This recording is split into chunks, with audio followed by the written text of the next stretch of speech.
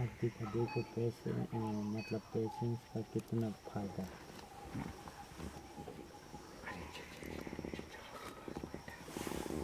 है देखो, ये मुझे ये ये ये खा रहा है कुछ,